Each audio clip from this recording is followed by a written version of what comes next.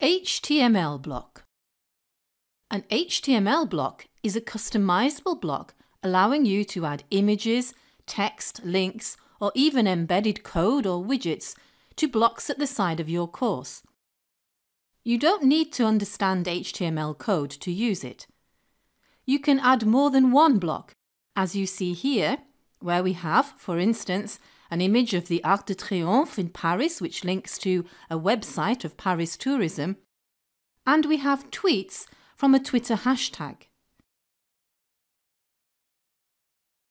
To add a block, we go to the gear menu top right and turn on the editing. And then, from the Add Block link in the nav drawer, we choose the block we want, HTML block. Let's add an image and link to that image. So when the block is added, we need to configure the new HTML block by clicking the gear icon. We give it a title, I'm going to call it Bonjour, and then in the content we add the image we want. I already have a public domain image of the Arc de Triomphe on my desktop, so I'm simply going to drag it in. Note the text editor I'm using is Moodle's Atto editor. If you are using a different editor, such as TinyMCE, you won't be able to drag and drop your image in.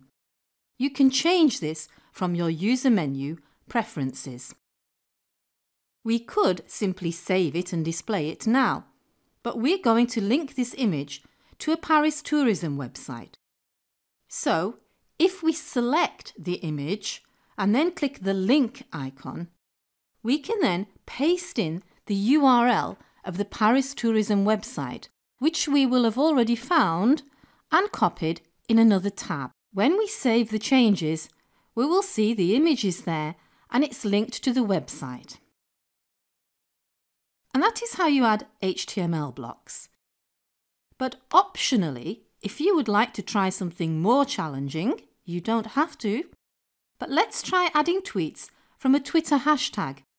How about learn French, as this is Sam's course, our teacher.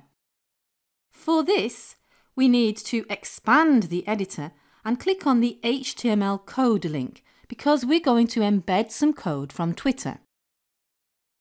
We then need to go to the settings of our own Twitter account and then choose Widgets and then Create New and search.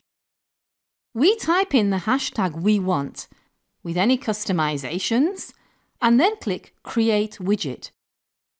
This then produces some code we can copy and paste back in the Atto editor. It doesn't matter if we don't know what it actually means. We go back to our editor, paste in the code, save, and there we have, along with our image HTML block, a Twitter block with the tweets from the hashtag.